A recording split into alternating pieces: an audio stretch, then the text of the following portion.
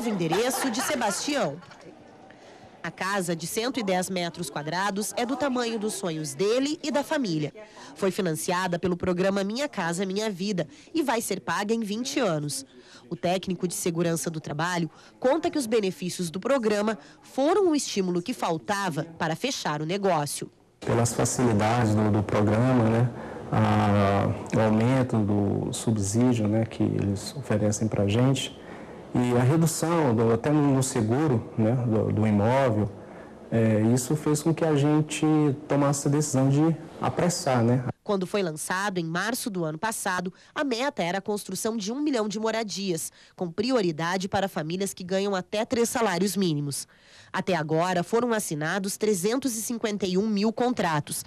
Estados como Goiás e Mato Grosso já atingiram mais de 60% da meta, enquanto no Amapá o índice não chega a 1%.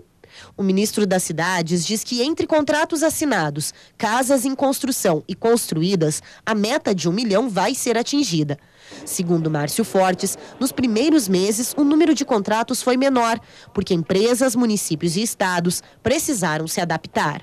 Os prefeitos tiveram e governadores tiveram que lidar com seus legislativos para ter autorização para doação de terrenos, para baixar impostos. Eles tiveram que organizar os cadastros, é, tiveram que atrair as empresas para se interessarem muitas vezes em fazer obras no interior, coisa que realmente não estão acostumados a fazer, a logística de insumo e de mão de obra diferentes. Né? Então, o, a, a, Caixa também se estruturou para ser mais ágil, porque eh, os prazos que foram pactuados conosco foram no sentido de termos prazos menores, que vão entrar a data de definição do projeto até a entrega das chaves.